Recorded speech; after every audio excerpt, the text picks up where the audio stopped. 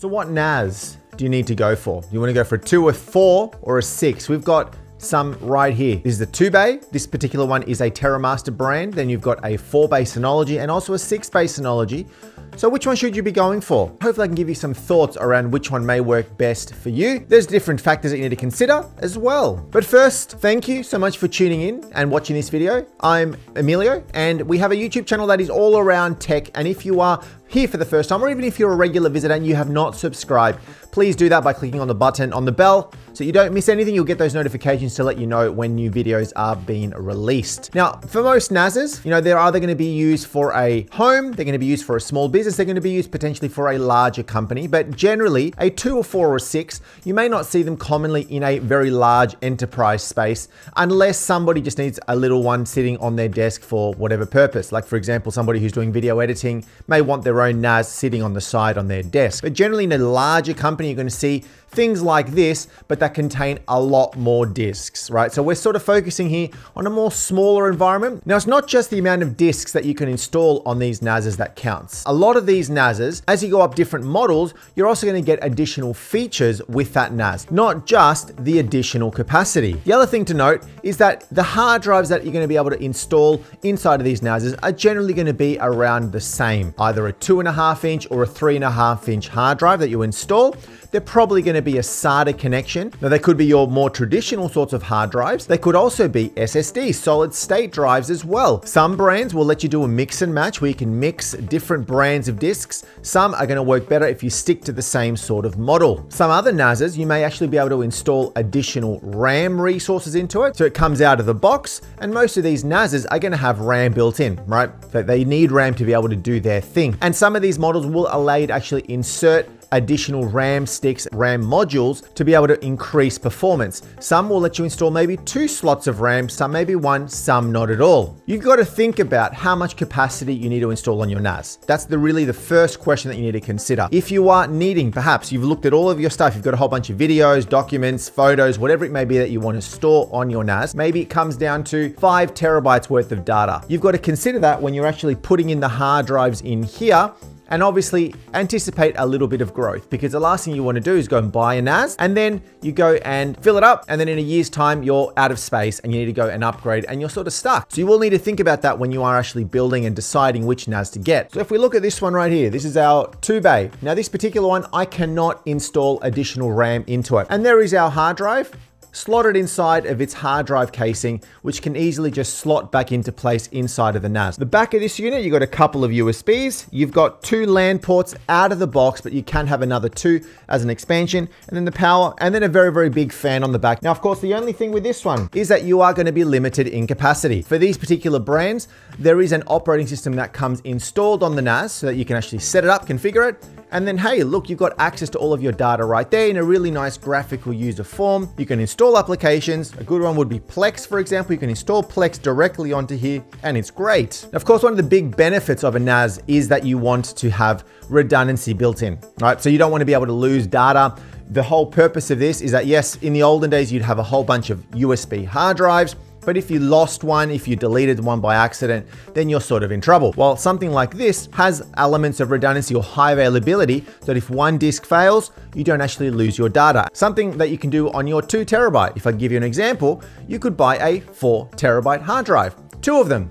You stick them inside there and then you RAID them together. And you can RAID them together to make one big eight terabyte hard drive. And that sounds great, great. Look, I've just gotten two hard drives that I had all on their own suck them in there, and now it's one big hard drive. The problem is that the data is being spread across two disks. If one of the disks physically fails or has some sort of a problem, you actually lose the data across both. So you're gonna have a bit of trouble when you're setting it up that way. What you may wanna do is you may wanna set them up in a RAID that actually has some redundancy built in. You can do this thing called mirroring, where you can stick in a four terabyte hard drive in here, a four terabyte hard drive in here, and then you mirror the data between the two. So that if one hard drive fails, not a problem because your other hard drive has actually got the data in there as well. But of course, you're gonna have to still buy two four terabyte hard drives, but you're only gonna get four terabytes worth of data to be able to be used because you're gonna stick two fours, you're gonna RAID them together, you're gonna mirror them, and you're not gonna get eight terabytes out of here because if you want mirroring, you're gonna have to sacrifice a disk for that purpose, right? That's something that you need to consider. When you get into the bigger ones, there's other different sorts of RAIDs that we'll talk about in a second, but that's really the main configuration that you're gonna be able to do here. And that may be great for you. You then can look at something a little bit bigger, like a four or a six bay. Now, these particular ones are Synology. They are great, sturdy, good units. I love Synology. Been using them for a very, very long time, and they're a really good, sturdy NAS. They're used a lot in the enterprise space as well. And very much like the two, you can also set them up so that you have one big pool of disks. So for example, if I stick a two terabyte, a two terabyte, a two terabyte, and a two terabyte, and I grab them all and I could have one big disk, two, four, six, eight. I could have a massive eight terabyte disk in there. And that sounds really, really good. You have that same problem though, where there is no failover, there is no redundancy on a disk. One of those disks, one of those four disk fails, you're in a world of trouble because you've just lost the data across all of them. Doesn't matter that you've got four of them, because you want to go down this route of not having any failover on a disk, you're going to be in trouble. You can do the mirroring thing as well, where I could stick a two, a two, a two, a two, and then you mirror. So they're the sort of the basic RAIDs. You've got a RAID 0 and a RAID 1. You can then do a RAID 5. You're gonna sacrifice one of these disks. You've got four hard drives that are two terabytes each. You may actually have six terabytes worth of usable storage and you're only sacrificing one of them in there. So that's actually really good because you're getting the benefits of grabbing all the disks and chunking them together. So you get a lot more one big disk and you've also got some failover. That's really good. And if you are completely confused about what RAID is and you want to learn more, hey, why don't you check out one of my other earlier videos where we talk about RAID and hopefully that gives you a little bit more understanding about what we're talking about here. But at six terabyte, you've even got more options. Now here's something else that you may need to consider is what if you want a combination of disks? And I want to say, look, two of the hard drives in this six bay NAS, I want them to be super, super fast. So maybe you want to go and stick a couple of SSDs in there, maybe two SSDs in there, and then you RAID them together, one with redundancy, and that is a volume that you create with a relevant RAID configuration, and that's super fast. And the data that sits on there, maybe it's for you know reading videos or recording stuff or whatever it may be, but it's gonna be a bit more expensive because it is an SSD. But then the other ones, you just want just for bulk storage of your data. So maybe the rest of the, um, the other four, you just buy standard SATA hard drives and you're fine, great. And you can create a separate volume for those other four. So you've got two volumes, one that is really fast disks, one that is slightly slower. And that's the good thing about something bigger is that you can mix and match the sorts of disks that you want, but then you create separate volumes for each of the two based on the requirements. Then you got the back of the units. Now they're not gonna be too different. You'll notice that my four bay here has just got a couple of LAN ports, while my big one, my six bay has got four LAN ports. There's also these eSATA ports. There's one here there's two here and that allows me to do like expansion. So in future, I need to have more capacity. I can just go buy another one of these and sort of get them together, talking to each other, and you can expand. This one, I've got a lot more options and I can expand a little bit further. The internal bits are also gonna be a fair bit different. It's not just, as I said, the capacity, but it's also the RAM that's available inside, the CPU performance, all of that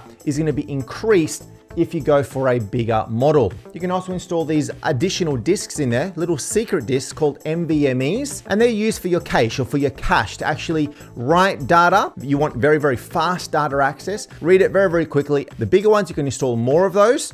The smaller one, you can't really do that at all. Now, the other thing that you may want to consider, think about the weight of these units. If you're going to go for something small like this, stick a couple of hard drives in there, it's not going to be very, very heavy, especially if both of these are like SSDs. You go for some of the bigger ones, they can get quite heavy, and especially if you're going to need to move them around, can be quite annoying. So the lighter one may actually be better. Now, of course, with each of these, you're going to be going up in price. Twos are going to be a lot cheaper, the fours, then the sixes. And of course, it's not just the NAS itself that you're to have to buy and pay a little bit more for it's also the hard drives. You're gonna have to buy more hard drives, but it's also a trade-off with how much capacity you actually need. The bigger the capacity requirements are for you, the bigger, the more better the NAS you need to get. So what are you gonna do? Two, four, six. Ultimately, look, the, the, the nugget right here is you need to figure out how much data you actually need. Without you knowing how much data you need, you're not gonna know for which model to go for. The bigger one is gonna cost you more, but it will last a much longer time because you're gonna be able to stick a lot more discs into there. The smaller one has its own purpose and that may be good. But there you go, there's my three NASs, two, four, and six. Hey, as I said at the start, if you're new and you're not subscribed, do that. Subscribe, click on the button on the bell. I release videos every single week on all things tech, including stuff on the NAS, so you'll definitely find that helpful. And hey, stay tuned for the next video where we talk about all things tech. Thanks for watching. We'll see you next time.